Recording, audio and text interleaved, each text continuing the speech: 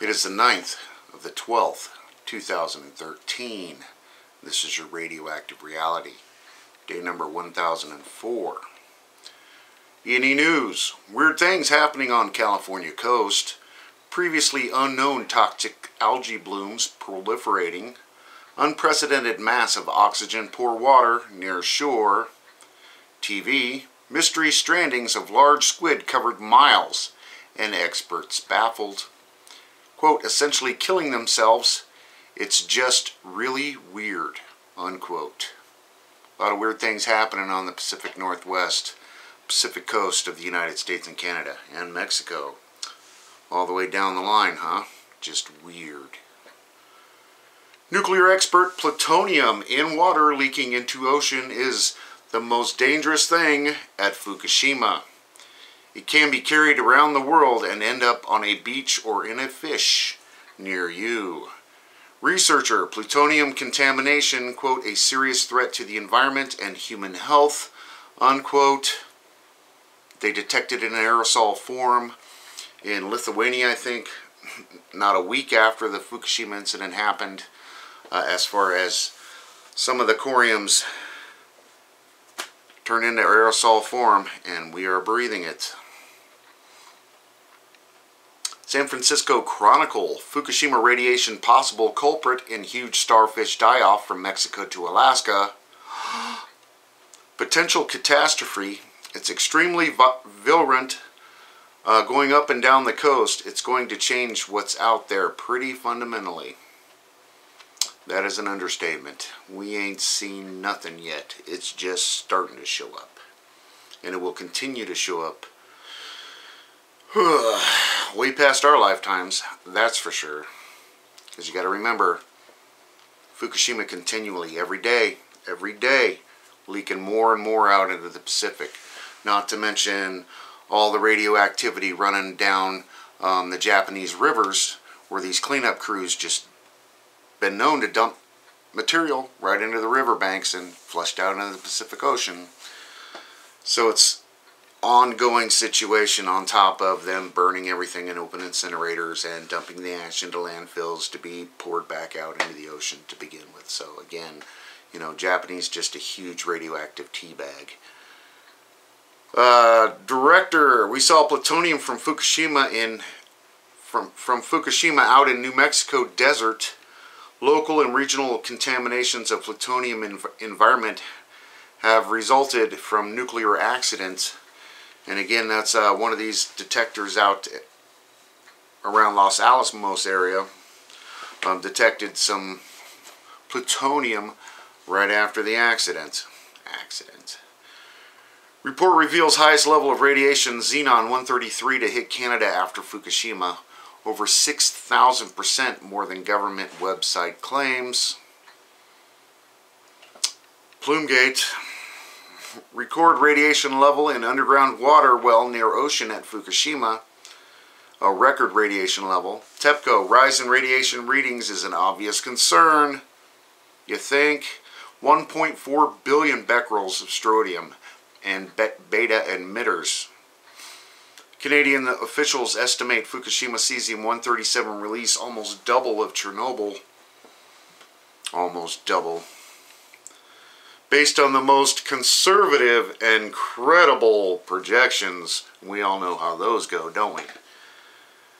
BBC, work at Fukushima unit number 4, a distraction. The real nightmare is coming from three molten cores. Thanks, BBC. New York Times, melted fuel is all over the place. First goal is simply to stop uncontrolled releases of radioactive material. Been having a lot of luck with that, haven't they? Yay, Yakuza to the rescue. Arnie Gundersen. When radioactive plume hits West Coast in a few months. Arnie, it's here now. It's not like it's going to end. That I agree. Fukushima still pumping contamination into the Pacific Ocean. A thousand and four days after the disaster has begun. a few months, Arnie what's going on on the West Coast right now. Take your gloves off, brother. We need you. TV highest ever radiation levels detected outside reactor buildings of Fukushima. People exposed to it would die in 20 minutes. Now that's that 25 sieverts per hour, whatever, that they detected um, on that broken exhaust stack between 1 and 2. They can't even get close to the thing to fix it. They had to attach the dosimeter onto a pole on a truck to get it up close enough to take these measurements. the insanity continues. California town passes Fukushima resolution. Urgent international rescue needed at site. Quote, poses health and safety concerns to America's west coast. A much greater contamination is likely. Uh, this little town in California, they're trying to do something. At least somebody's trying to do something over there. Pay attention. What's going on in the Pacific right now? How can you deny there's nothing going on in the Pacific right now? Japan enacts state security law late Friday night amid revolt. I've already covered this. Um, if I were to go to Japan, say, I would probably be up to like, what, five years in prison or whatnot. Um, these total fascist Japanese government, yay.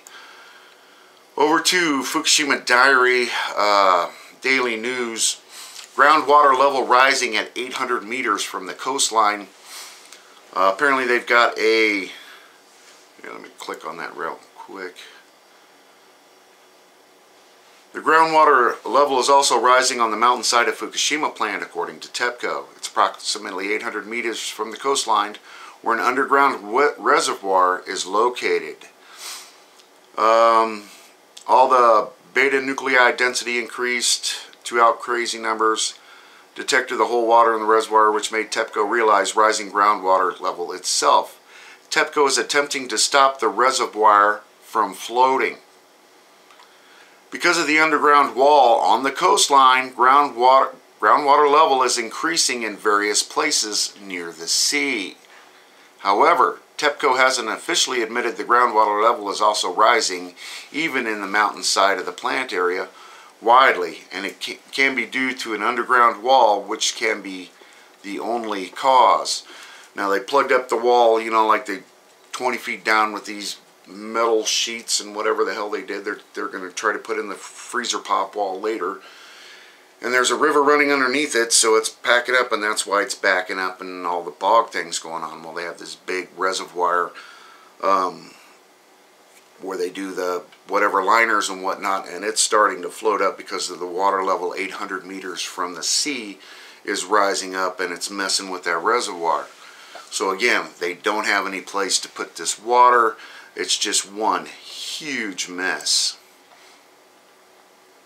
Cesium-134 and 137 detected from 71% of JT Burley tobacco produced in 2013. 98% of them were shipped for sale. That's uh, they're saying it's around the 100 becquerels uh, limit that Japan has. Of course, uh, the Japanese government owns one third of the company by law. And uh, they went ahead and sold the tobacco anywhere. No telling where it's ending up. Uh, and again, they're going on about the, the raised radiation levels in and around the Fukushima plant.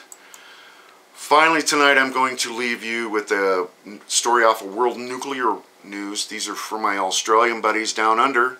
Slurry spill at Ranger a leaching tank has failed at Ranger Uranium Mine in Australia, releasing a large volume of acidic slurry mixture. However, Owner Energy Resources of Australia, ERA, reported that the spill has been contained within the mine processing area. Don't worry folks, everything's completely under control. Well, that's about all I have for you today. Of course, if I missed anything, please let me know. Uh, attach your comments or uh, send me a message. Enjoy while you can, everybody. Thanks.